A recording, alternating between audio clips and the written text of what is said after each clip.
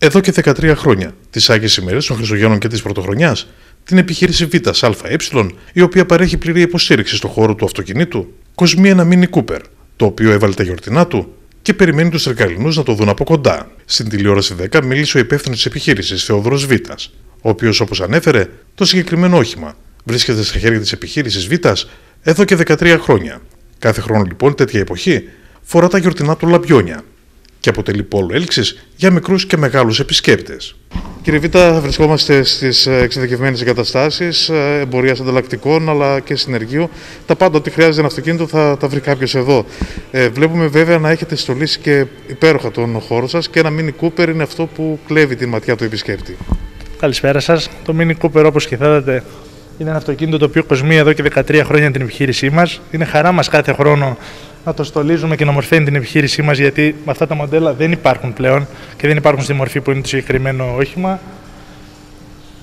Κάθε Χριστούγεννα περιμένουμε πώς και πώς να έρθει αυτή η όμορφη ε, γιορτή, έτσι ώστε να φωτογραφίζεται. Έρχονται πολλά παιδάκια, χαίρονται πάρα πολύ τα παιδιά και ο κόσμος που έρχεται εδώ και το βλέπει.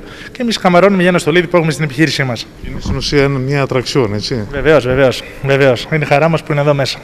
Αυτό το διάστημα, ανέφερε ο κύριος Β, οι Τρικαλίνοι θα πρέπει να δώσουν ιδιαίτερη βαρύτητα στην συντήρηση του οχήματός τους, μιας και ο καιρός προσφέρεται για ταξίδια. Μια βλάβη που αρχικά φαίνεται μικρή μπορεί να δημιουργήσει πολλά προβλήματα και να οδηγήσει ακόμη και στην καταστροφή του οχήματος, ανέφερε. Πάντως είναι γεγονός πως η οικονομική στενότητα που αντιμετωπίζουν και οι Τρικαλινοί δεν τους επιτρέπει να προχωρούν σε συχνή συντήρηση των οχημάτων τους. Δυστυχώς, όλος ο κόσμος έχει αμελήσει πάρα πολύ τη συντήρηση του οχήματό του. Εμείς, σαν ειδικοί, προτείνουμε σε όλο τον κόσμο να μην αφήνει τη συντήρηση, γιατί συντηρώντας το αυτοκίνητό θα το γλιτώσει από πολλά προβλήματα.